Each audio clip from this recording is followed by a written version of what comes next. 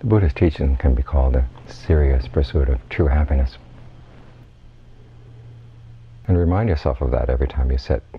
This is why we have the chant for metta, or goodwill, at the end of the chanting session before we sit down and meditate, to remind ourselves that we really do wish for happiness, a true happiness.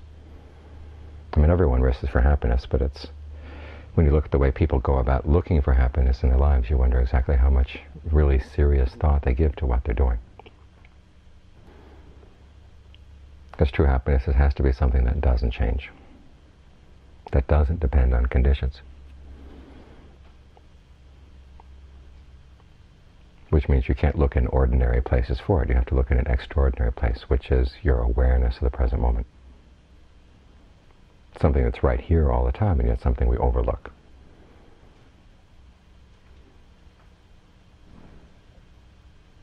So when we're meditating, we're turning inward to look for true happiness right here.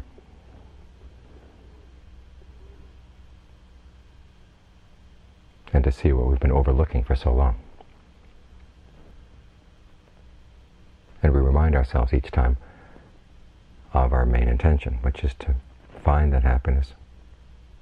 A happiness that is good not only for us, but for the people around us. Because we find that when we're not creating unnecessary suffering for ourselves, it's lifting a burden not only off of our shoulders, but also the shoulders of the people around us. So we wish not only for our own happiness, but for the happiness of all living beings.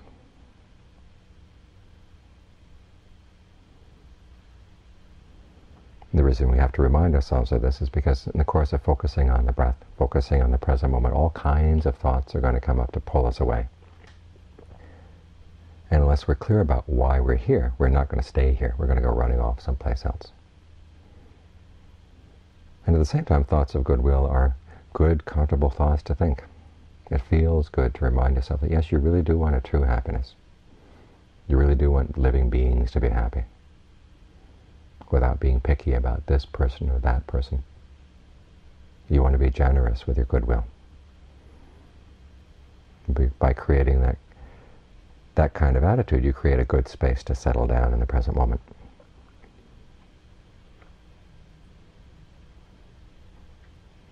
Because even though our ultimately our point in meditation is to focus directly on the awareness of the present, it's a difficult place to focus. So we give ourselves crutches to get there. Things that help. The breath is one of these. In addition to thoughts of goodwill, then we focus on the breath. Breath is coming in, know it's coming in. When it goes out, know that it's going out. That's all you have to be aware of right now. The other things, the mice crawling around the ceiling, the sounds off in the distance, just let them be.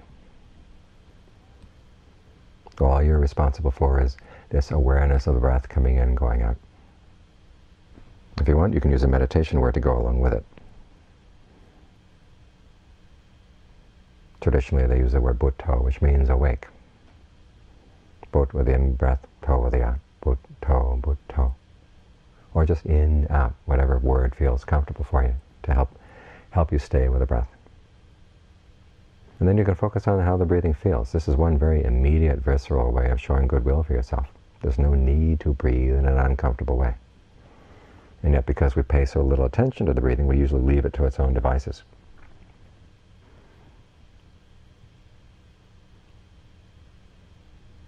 And as a result, the breath gets more shaped not, shaped not so much by our awareness, but by other emotions that come to the mind.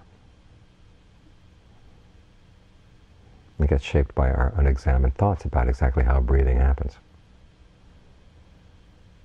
And so as a result, many times the breath gets constricted. It, parts of the body don't seem to be participating in the breathing process because ideally the breathing process should be a whole body process. Your whole nervous system, system should be involved.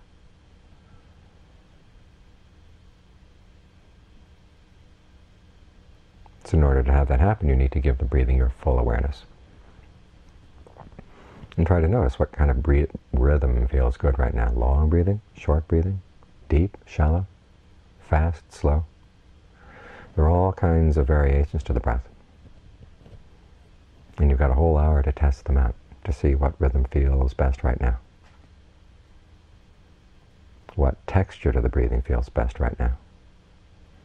If you're feeling tired, you want a, a rhythm of breathing gives you more energy. If you're feeling tense, you want a rhythm that helps you to relax.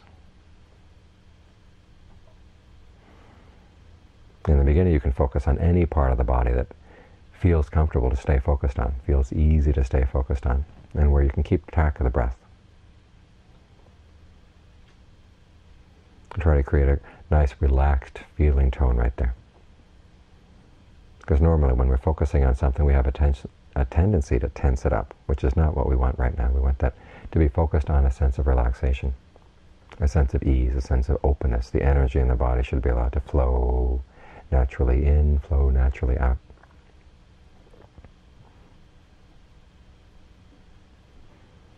And then when you've got one spot in the body that you can maintain that feeling tone in, then you can allow the same feeling tone to spread to other parts of the body. So as you breathe in, there's nothing in the body that gets tensed up. As you breathe out, you're not holding on to tension in any part of the body. You can go through the body systematically. Start around the navel and just go up the front, section by section. Watch each section for a couple of minutes as you breathe in, breathe out, feel, notice what kind of rhythm feels good for that part of the body. If you feel any sense of tension or tightness there, allow it to relax. And then you move up to the next section, say the solar plexus, and then the middle of the chest, the base of the throat, the head, down, the back, out the legs. Starting again at the back of the neck, going down the shoulders, out the arms, until you've covered the whole body.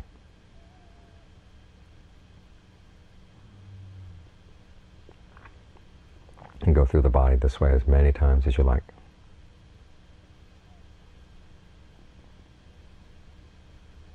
And you find that all different kinds of benefits come. The immediate one is a, a greater sense of well-being in the present moment. It just feels better to sit here when you are sensitive to how the breathing is going and sensitive to how you can change it to make it feel even better.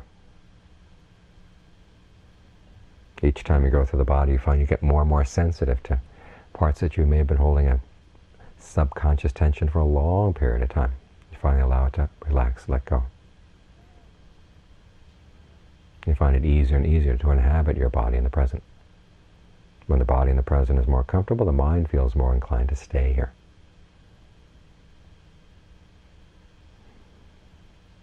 So the benefits are not only physical, they're also mental.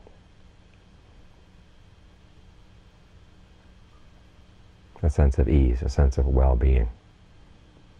The mind goes more and more still. At the same time, though, it's more alert and more aware. Our tendency when things get comfortable in the body is to fall asleep. But here we're doing it mindfully, with as much alertness as we can muster. So it creates a different quality to the awareness, a different quality to our awareness of the body.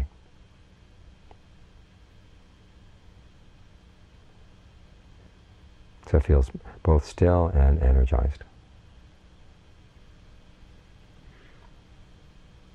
Then the next trick, once you're able to do this, is to learn how to maintain it.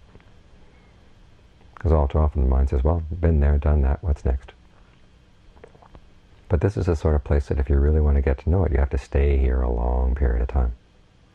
You have to become familiar. You have to become friends with the body. The kind of friend that sticks with a friend no matter what happens the kind of friend that you would like to trust. You try to be that kind of friend with your body, and you find that the breath and the body reciprocates. It becomes a good place to be, a nice place to stay. But there is a separate skill to one, learning how to do it, and then two, learning how to stay here. The thoughts will come up, well, this is boring, what's next? Well, say, no, who's bored? Who's saying that? Start questioning those thoughts. Don't believe everything that comes through your head.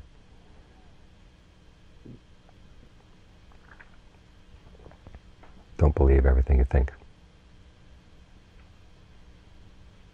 Just see see the thought as a kind of like an energy pattern that comes and goes. And you don't have to give it any more reality than that.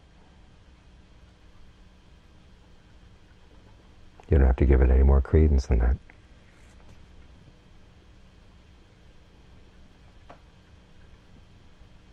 Learn to be on the lookout for any kind of thought that pushes you away from the present moment. And instead of getting entangled with it, just allow it to dissolve while you stay with the breath. And begin to see that you can start anticipating when a thought is going to come. You feel it as a stirring or disturbance in the energy field of the body. And just allow that sense of disturbance to relax, allow it to iron itself out, and the thought will get aborted.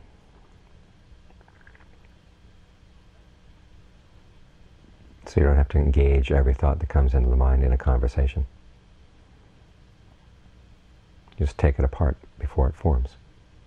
And that makes it a lot easier to stay here long periods of time. And as you stay here longer and longer, one, the mind gets stronger.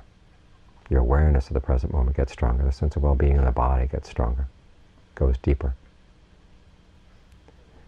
And you start seeing and understanding patterns of the mind that you never saw or understood before. This is where the practice starts giving rise to insight. Where you actually start using the meditation.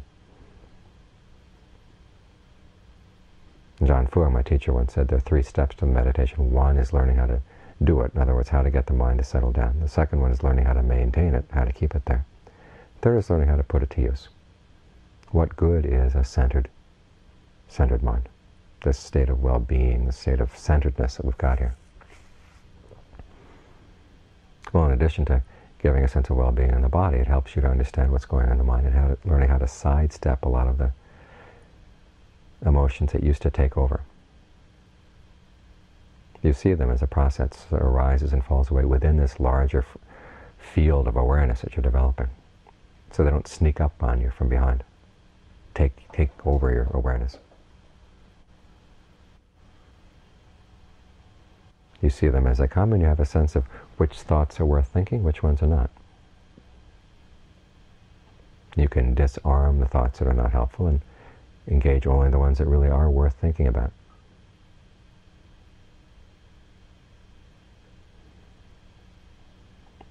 And you get a quicker and quicker sense of which thoughts are skillful and which ones are not, which ones will lead to happiness and which ones will lead to, to suffering. And you can start undercutting the ones that lead to suffering, step by step by step.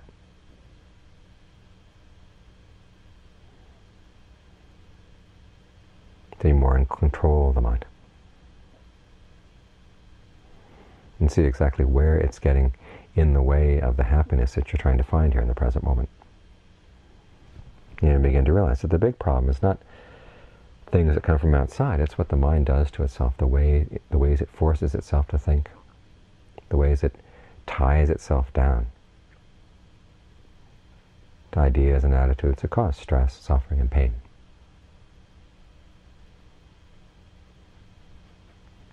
And that when you stop getting engaged in those patterns, you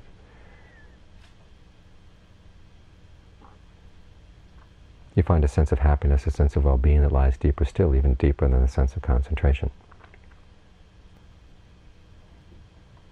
This gets you closer and closer to the kind of happiness that the Buddha was talking about, a happiness that doesn't depend on conditions. There will come a point in the meditation where things open up, where at that point you're not doing anything more, it's just simply allowing these things to open up on their own.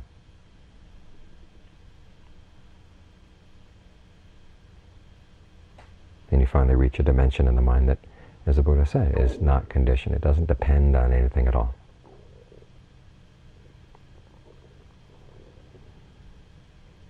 And that's where the true happiness lies. So this process here is one of digging in, looking for gold. And when you find things that are obviously not gold, you throw them away. When things look like gold, you have to test them. Because there is fool's gold, you know. But the basic test is this, is it something that's constant or inconstant? If it's going to be inconstant, you know that it's going to be stressful. Nothing you want to identify with. No matter how much you've cherished a particular type of thinking or a sense of your own identity, you begin to realize that those thoughts get in the way.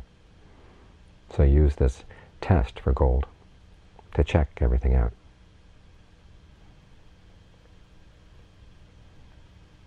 And as you run into things that are fool's gold, you put them aside.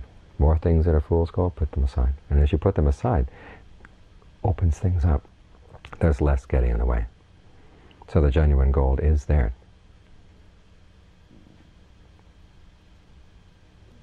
It's just a question of not being willing to settle for anything less.